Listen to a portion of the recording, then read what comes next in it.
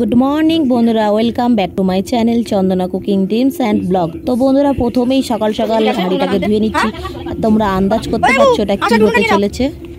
তো এই উনুনে আমাদের আজকে হবে রান্না তো উনুনটা আমি জামাইবাবুকে বলছি তুলে নিয়ে যাওয়ার জন্য। তো আকাশের ওয়েদারটা দেখতেই পাচ্ছ কেমন হয়ে আছে। আর এখানে মাছগুলো ধোয়া হয়ে গেছে আর সবজিগুলোও কেটে নেওয়া হয়ে গেছে। এখানে আমি আদা রসুনগুলো কেটে নিয়েছি এবার বেটে নেব। আর এখানে চাটনির জন্য সব কিছু নিয়ে কেটে নিয়েছি। তো চলো বন্ধুরা দেখতে দাও কন্টিনিউ তো এখানে আমাদের জামাইবাবু ঘুমাচ্ছে আর আমার ননদরা সব এখানে বসে আছে। আমি এখানে আদা রসুনের পেস্টগুলো করে নিলাম আর ধনে পাতাগুলোও ভালো করে ধুয়ে নেব। আর এখানে আদাটাকে কুচিয়ে নিয়েছি কারণ হান্ডি চিকেনে লাগবে। তো দেখতে থাকো হান্ডি চিকেন আমরা করছি সব রকম মশলা এর মধ্যে ম্যারিনেট করে নিচ্ছি। একে একে হলুদ গুঁড়ো জিরের গুঁড়ো আদা রসুন সব যা যা লাগে সব দিয়ে দিচ্ছি। গোটা রসুনও দিয়েছি টক দই দিয়ে ভালো করে এটাকে ম্যারিনেট করে নিচ্ছি। আর কুচনো আদাটাও এর মধ্যে দিয়ে দেবো, বাটার দিয়ে দিচ্ছি। তো ভালো করে ম্যারিনেট করে নেওয়ার পরে এক ঘণ্টা রেখে দেবো। পেঁয়াজের বাটাটাও দিয়ে দিলাম। তো পুরোপুরি রান্নাটা আজকে আমার নন্দাই করছে। তোমাদের যদি ভালো লেগে থাকে, অবশ্যই একটা লাইক কমেন্ট শেয়ার চ্যানেল নতুন হলে চ্যানেলটা সাবস্ক্রাইব করার অনুরোধ রইল। তো এখানে মাখতে মাখতে কাজু বাদাম বাটাটা হয়নি, তাই জন্য কাজু বাদামটা আমি বেটে দিলাম।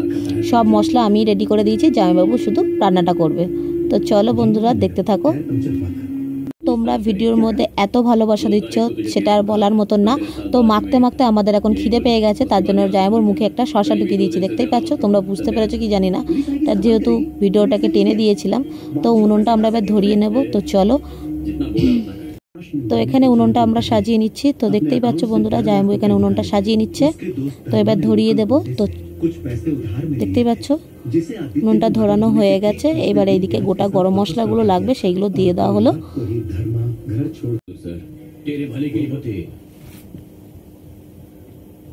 মাখানোর চোটে খিদে লেগে যাচ্ছে, দেখতেই পাচ্ছ, ভালো করে একদম মাখানো হচ্ছে।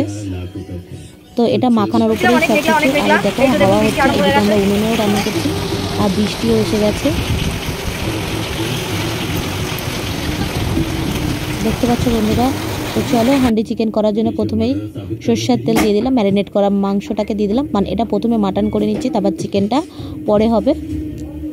তো আমাদের এটা দমে দিয়ে নামিয়ে নেব, এবারে নামানো হয়ে গেছে। এবার খাওয়া দাওয়া শুরু, এই হচ্ছে ব্লগ।